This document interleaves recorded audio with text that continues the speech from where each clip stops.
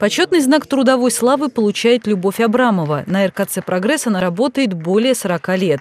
Создает устройство для проверки деталей, входящих в конструкцию ракет «Союз», которые считаются самыми надежными в мире. За качество ручается. Большую часть моей жизни прошло на заводе. Это моя жизнь. Я, например, рада. Коллектив очень хороший.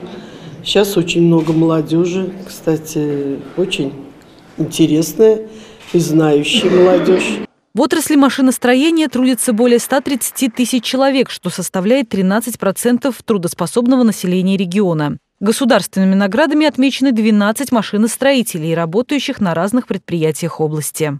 Все усилия сегодня органов государственной власти, региональной власти нацелены на то, чтобы слава промышленного производства Самарской области была возвращена. Там, где мы утратили позиции, мы должны их вернуть. Глава региона особенно подчеркнул, в укреплении промышленности региону помогут национальные проекты, инициированные президентом страны. Лариса Шлафаст. События.